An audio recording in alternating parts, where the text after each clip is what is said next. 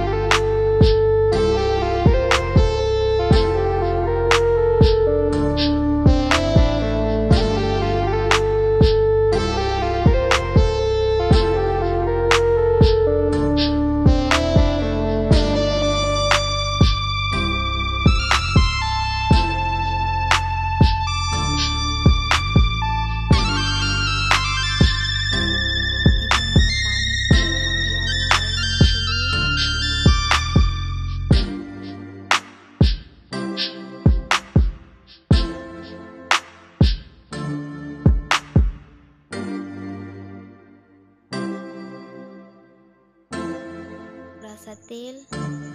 जैसे कि मतलब डालने से सटे ना एक दूसरे से